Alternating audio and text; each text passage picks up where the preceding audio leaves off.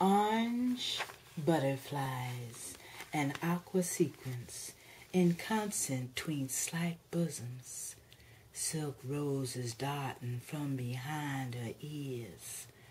The passion flower of southwest Los Angeles meandered down Hoover Street, past dark, shuttered houses where women from Louisiana shelled peas round three o'clock and sent their sons whistling to the store for fat back and black-eyed peas. She glittered in heat and seemed to be looking for rides when she wasn't, and absolutely eyed every man who wasn't lame, white, or nodding out. She let her thighs slip from her skirt, crossing the street. She slowed to be examined and she never looked back to smile or acknowledge a sincere, hey, mama, or to meet with the eyes of someone purposely finding something to do in her direction. She was sullen, and the rhinestones etching the corners of her mouth suggested tears, fresh kisses that had done no good she always wore her stomach out lined with small iridescent feathers, and the hairs around her navel seemed to dance, and she didn't let on. She knew. From behind her waist was aching to be held. The pastel ivy drawn on her shoulders to be brushed with lips and fingers, smelling of honey and Jack Daniels. She was hot, a deliberate coquette who never did without what she wanted, and what she wanted was to be unforgettable.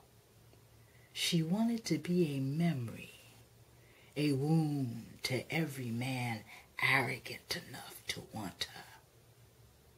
She was the wrath of women in windows, finger shades, old lace curtains, camouflaging despair and stretch marks. So she glittered honestly, delighted she was desired, and allowed those especially scheming and tactful suitors to experience her body and spirit tearing so easily, blending with theirs. And they were so happy and lay on her lime sheets full and wet from her tongue. She kissed them reverently, even ankles, edges of beards. At 4.30 a.m. she rose, moving the arms and legs that her. She sighed, hmm. affirming the sculptured man, and made herself a bath of dark musk oil, Egyptian crystals, and Florida water to remove his smell, to wash away the glitter, to watch the butterflies melt into suds and the rhinestones fall beneath her buttocks like smooth pebbles in a Missouri creek. Laying in water, she became herself, ordinary. Brown braided woman with big legs and full lips, regular. Seriously intending to finish her night's work, she quickly walked to her guest, straddled on her pillows, and began. You'll have to go now. I, I have a lot of work to do, and I can't with a man around, uh, or here are your pants. There's coffee on the stove. It's been very nice, but I can't see you again. You got what you came for, didn't you? And she smiled.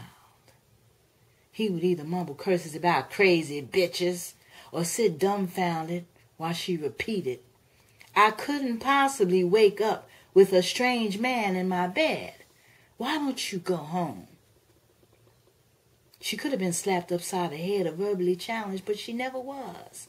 And the ones who fell prey to the dazzle of hips, painted with orange blossoms and magnolia scented wrists, had wanted no more than to lay between her sparkling thighs and planned on leaving before dawn. And she had been so divine, devastatingly bizarre, the way her mouth fit round. And now she stood, a regular colored girl, full of the same malice and livid indifference as a sister. Worn from supporting a would-be horn player, awaiting by the window, and they knew and left in a hurry. She would gather her tinsel and jewels from the tub and laugh gaily. or vengeful. She stored her silk roses by her bed, and when she finished writing an account of her exploit in a diary embroidered with lilies and moonstones, she placed the rose behind her ear and cried herself to sleep. For colored girls who have committed suicide when the rainbow was just not enough.